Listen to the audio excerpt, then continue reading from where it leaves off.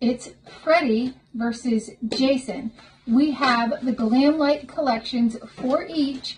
So if you want to see what she got and what I got, stay tuned.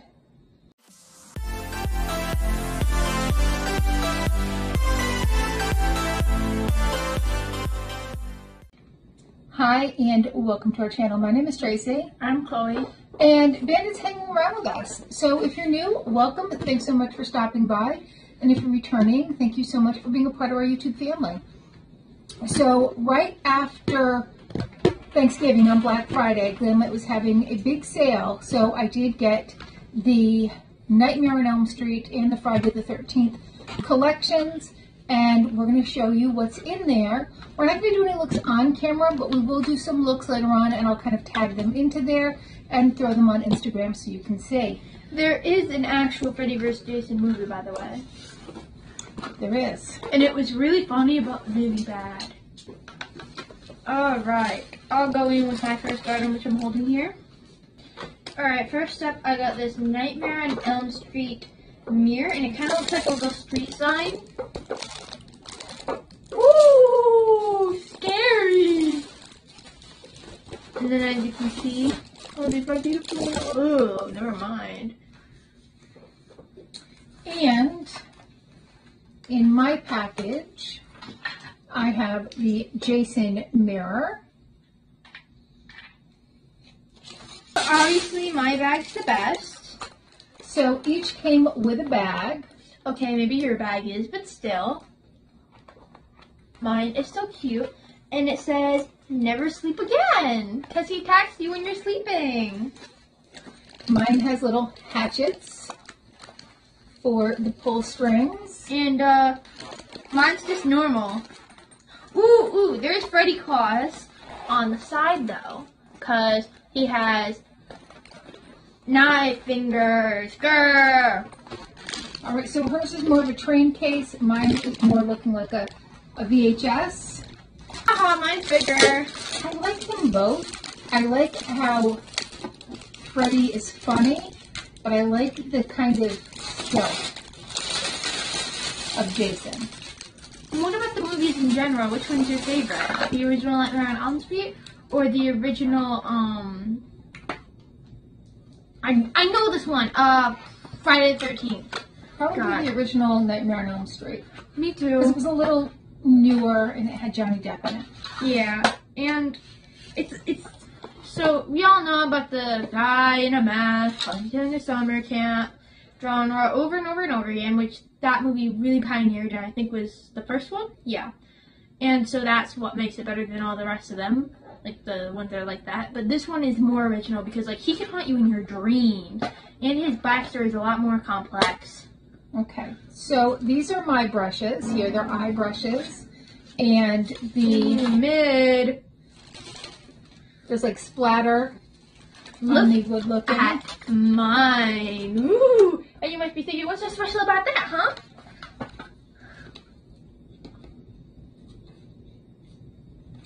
Look, has- it looks like little vials of blood.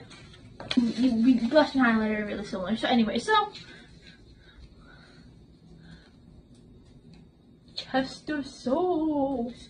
And this is a blush trio. And this is the Jason Lives highlighter. Now this is pretty amazing. Don't you mean Freddy lives? Jason Lives, because I have to. Oh, uh, oh my. No, I mean, I, you said Freddy lives, didn't you? thought I said Jason Lives. No, and then I meant to say, do you mean Jason lives? But I accidentally said, do you mean Freddy lives? Oh my god. Anyways, this looks super cute.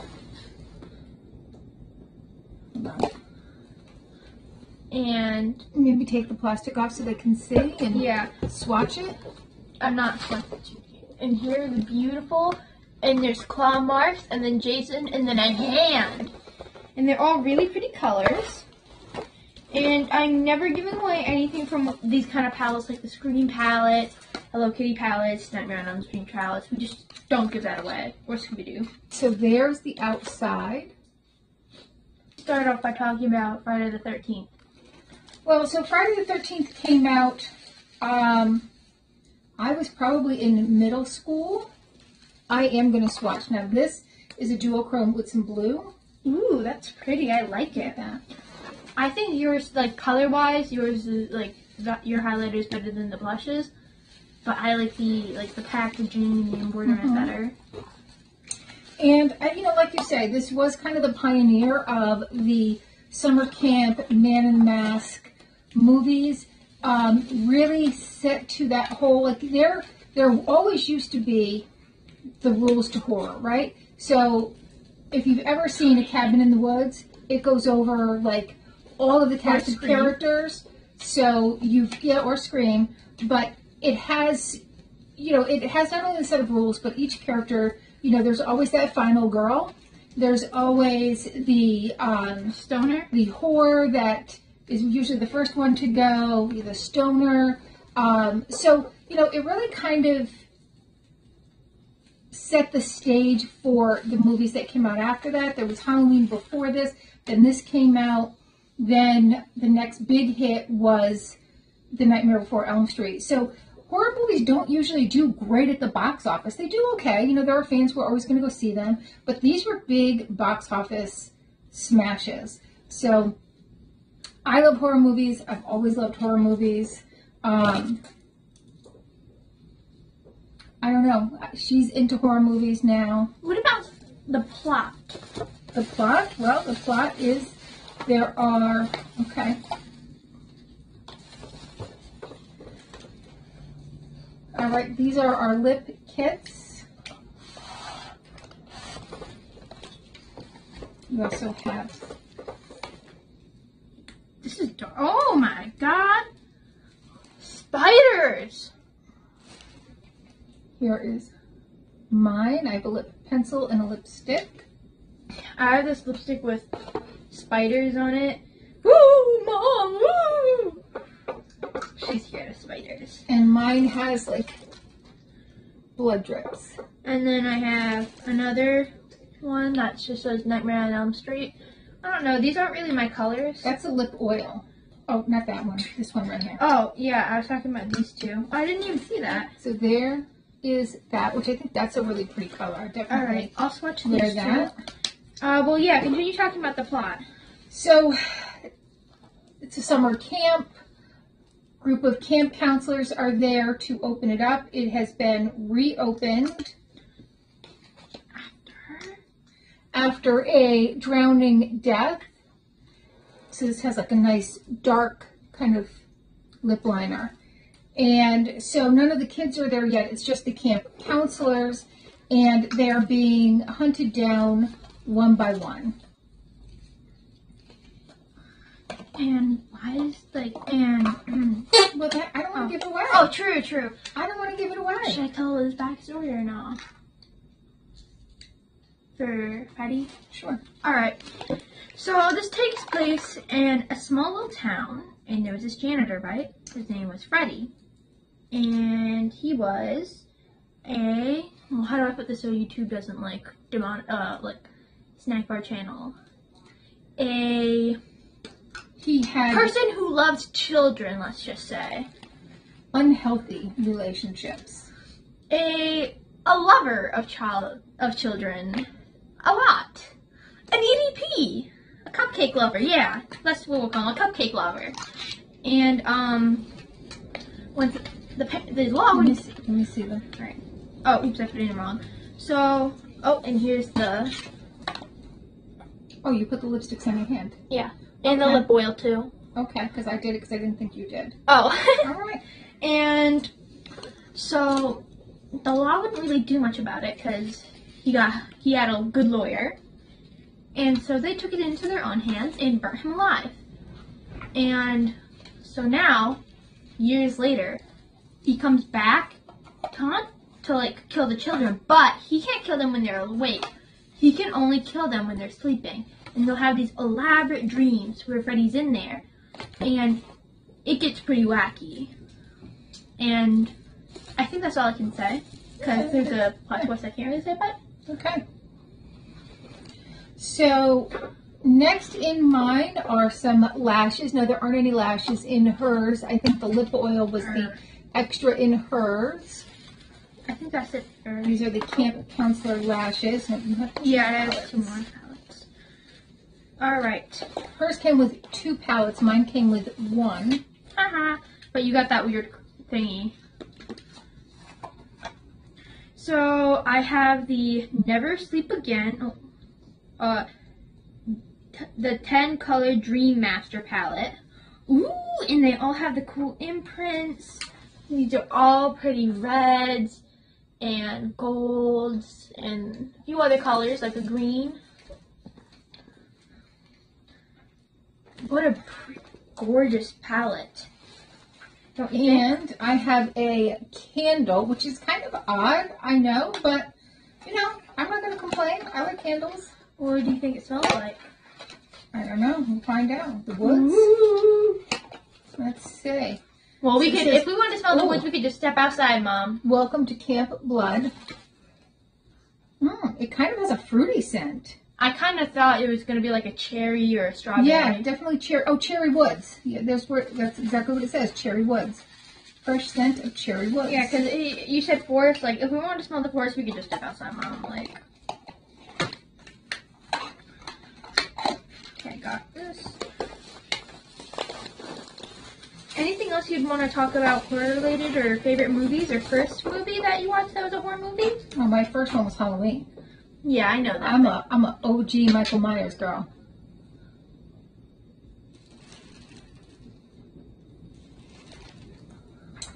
And here What is my first my horror movie, Mom? palette. I think it was Friday the Thirteenth, wasn't it? I don't know. I'm pretty sure it was. I think it was probably more like a children's type one. No, no, no, like actual horror movie. Because I know like my first one was like probably Goosebumps or something, but Yeah. I mean like an actual horror movie. I don't know. Because I'm pretty sure the first actual, because I used to watch a lot of Goosebumps, um, and like also like shows with like ghosts and stuff, like um, Haunted House. It's a animated show, and um, some other stuff that's for younger demographic, but still like horror. But I think my, I'm pretty sure my first actual horror movie was Friday the Thirteenth. And these have Jason Lives on there. When I was 11, I think, or 10. I don't know.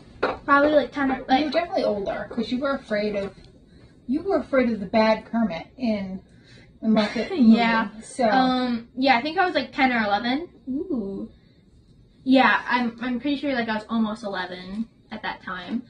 Um and your favorite movie is horror movie?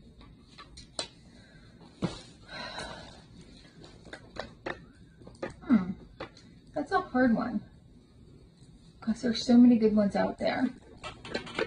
Let's start with your favorite like trope or like kind of horror movie. Are you more of a slasher or psychological? I am more of a demonic entity, hmm. the supernatural. I like the supernatural. Yeah. I kind of like the ones with the monsters rather than just normal slashers, even though there are Mhm. some really good classics. hmm Um, Sixth Sense was pretty good. And then there was also like another one. It was based on a true story where like the guy, like the the ghost, like carves numbers on people's foreheads, and that's how long they had to live or something. Or I'm not completely sure. I don't know. So it was like about a guy and his wife died in a car accident, and then like there's and he can talk to ghosts. That was Sixth Sense. No, his wife didn't die though. He died. Yeah, in Sixth Sense, he's like a therapist and he Yeah. died. I'm talking about the one where they were both in a car accident. I watched this one with dad, No. and then um, from and he survived, but his wife didn't. And now he can see ghosts and talk to Mhm. them. And so he like runs this fake business where he like pretends to get rid of ghosts in your house, even though Mhm. he's the one, you know. And then this evil ghost comes along and writes no- numbers on people's foreheads, and that's how long they have to live. I think it's how long they have to live. I'm not sure, but they he'll carve like a number on their forehead, and he has to like defeat the ghost or blah blah blah. And there's this other girl, and it's complicated. okay. And your favorite flat, and your favorite slash is Halloween. Probably Halloween. And you know, though, I really like the remake by Rob Zombie, the Halloween one and two by Rob Zombie. Yeah, yeah. Those were good. really well done. Rob Zombie is so- so good at making movies. Like I did I did really like those. Um favorite all time though. You know, I do love the Evil Dead series, even though the first one is cheesy as can be. Um I mean they had they had such a low budget. So did the original Halloween. I think the original Halloween's budget was like three hundred thousand or something like that. But which is still like a lot of money, but not nearly not as for- much. Right, not for a, a movie. Yeah. But I um I love Sam Raimi and Rob Tapert. I love everything that they do. Hot take: Halloween should have stopped after Halloween two. Like it has been dragged on way too long, and that last movie, Mhm. oh my god, that was awful. Yeah, Michael Myers as a senior citizen just doesn't play well. But they have, since they have finished it, John Carpenter has uh, bid to get the rights. I'm not really sure if he did or did not, but the orig- so in the original series, right, Halloween three is kind of like The Black Sheep. it, it, it wasn't tied in. It wasn't a Michael Myers. So the original plan had been to do Halloween 1 and 2 with Michael Myers and then to kind of take off each Halloween with a different theme. So no more Michael Myers. But when Halloween 3 came out, the public was, it was an outcry. Like, what is this? Where's Michael Myers? This makes no sense. What are you doing? And so John Carpenter stepped out because that's what we, he had wanted to do.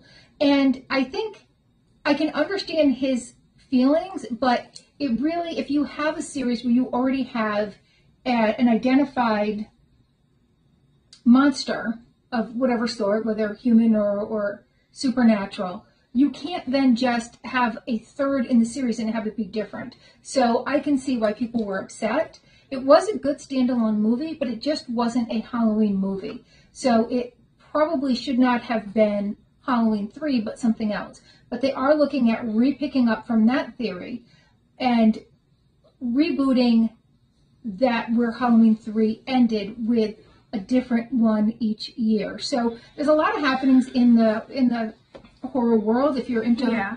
into horror movies. Scream 7 um, has has had to halt production. They lost both of their stars. They fired the uh, one that played Samantha Why? Oh, oh, Um, because I of know. something she posted that they it wasn't was- even that bad. Like all she did is she said like basically what she said is like stand Palestine and like it's bad, like war is bad, and there should be peace on both sides, and that it's awful that Palestinian people are being brutally genocided.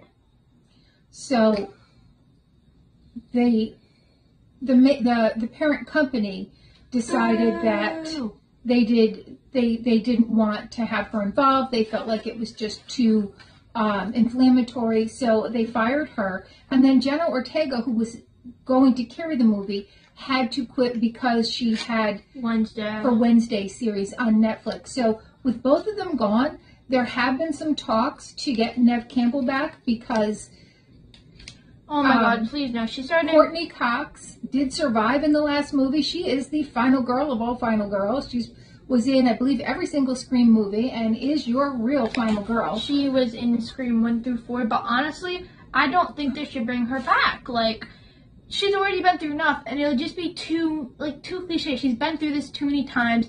It's just like, no, that's getting old. Like, you have four movies with her. You don't need another one. And I am old school. Bring back Gale Weathers. Bring back. I hate Gale Weathers. I hate her. She's so annoying. Bring Sidney back. Let's see what's gonna happen Maybe have here. Sidney's like kids be the target instead of her. Mhm. Like maybe have her as like a side character, but I really don't want her being the main character. Although I do want her to live, I don't want her to be a main character. Or maybe like you know, like I just don't want her to be a main character. And I felt like the whole um Scream five and six, those were kind of like mm, it was kind of a stretch for me. Like I liked the movies, but like, oh, it's Billy's long lost daughter. Oh, was was a bit too, you know, cliche. Hmm. Not really. I I like the movie. I just feel like it could have been executed a bit better. So they are looking at also bringing back Patrick Dempsey from Scream 3. So it remains to be seen what they end up doing. Scream is probably our favorite series altogether. Yes. It's consistently good, although consistently the same. But I think if you have a formula that works for you, why not keep it, right? hmm And I hope that if they do make something different, please don't make it something like that. Please be something reasonable, like something tied to the series, like Sidney's kid, like I suggested, or Well, the twins are still alive too. Yeah, but like, do we really need another movie with them? I don't know. Especially not with, or, or like they weren't the main characters. They were like, hmm well, they were big players, but they weren't as. I feel like people, you know, and although it, it did kind of leave on a cliffhanger for number for Scream Six, so it would make sense, but without those two main characters, it just wouldn't work. So I think they should try a different plot line. All right. Well, those are our opinions about the horror world, and um, we hope that you have enjoyed listening to us, even if you don't like horror movies, um, listening to our banter and our film reviews. All right. Well, thank you so much for spending a little time with us. What do we want them to do? Like, subscribe, and hit the notification bell. If you please, and hopefully, we'll see you soon.